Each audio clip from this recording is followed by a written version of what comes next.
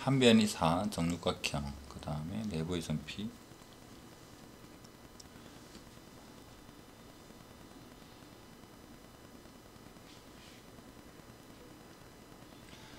자 어딘가 P가 있는데 그 PF 예를 들어 저기가 P다 여기 P다. 그러면 PF랑 PE 벡터라는 게 여기 중점에 대한 M이라고 하면 PM에 대한 두 배랑 같겠죠 그래서 DE도 마찬가지로 DE랑 PD에 대해서 여기 중점에 대해서 두 배예요 이런 형태로 표현할 수 있을 테니까 식을 PF PE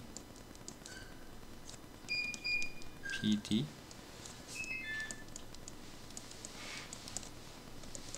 이에 P M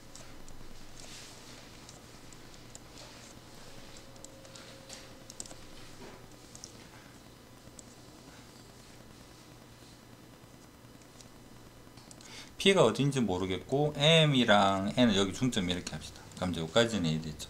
얘랑 얘를 구해보면 되는 거고 자 얘가 0이래 어 N 어디 갔나 PM, PN이 0이 되면 P는 어디 있을까?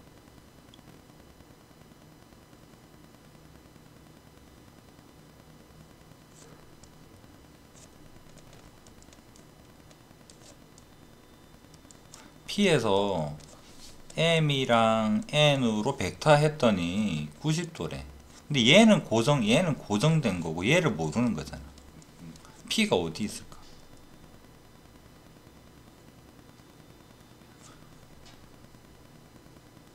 MN을 지름으로 하는 원위에. 그럼 여기서 MN을 지름으로 한다 그러면 얘를 지름으로 하는 원위에 있다는 소리잖아.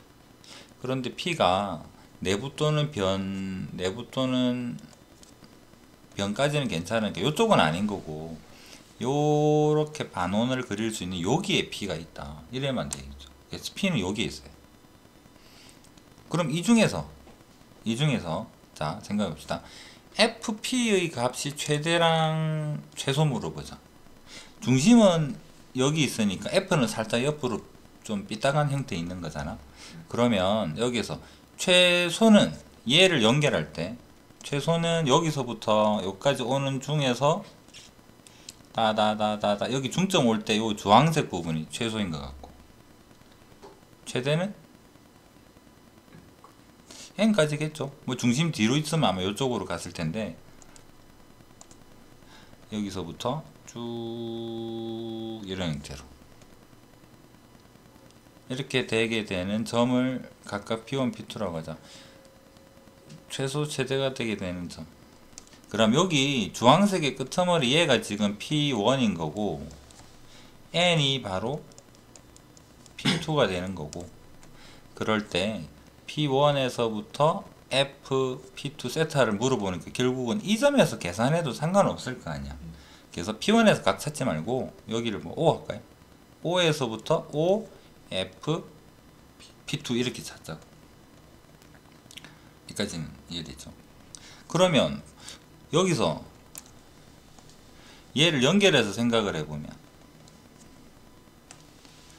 여기 여기 지금 P2는 여기 점선에서 4등분점 중에서 밑에 있는 얘고 그 다음에 P1은 상관없고요 음 요렇게 자 그러면 여기 O랑 연결되는 부분 주황색이 이제 연장해서 O랑 생각을 합시다. 요 부분만 따로 떼서 한번 생각을 해 볼게요. 그러면 도형이 이쪽에다 그립시다. 쭉. 그 다음에 삼각형 삼각형. 이렇게 이렇게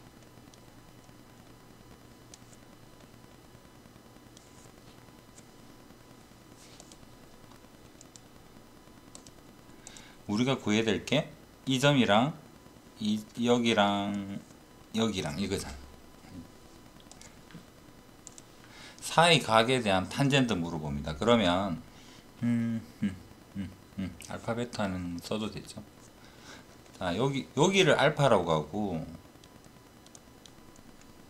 여기서부터까지를 베타라고 하면 길이는 구해봐야 되겠죠. 한 변이 4입니다. 여기가 4가 되면 여기 2가 되면 여기서까지는 2루트 3이죠. 여기서까지는 2루트 3이 되고 그 다음에 여기서까지는 2가 되고 자 그러면 탄젠트 알파 얼마일까?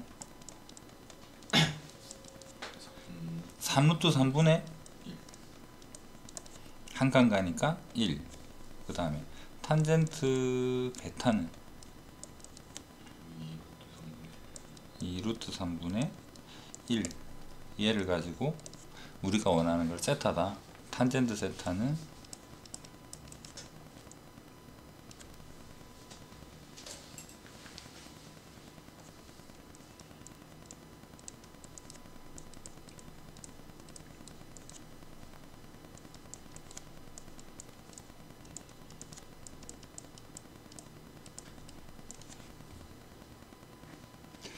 얘는 계산을 해보면 19분의 1 루트 3 그래서 어, A, B 부모 분자를 더하면 20이 됩니다.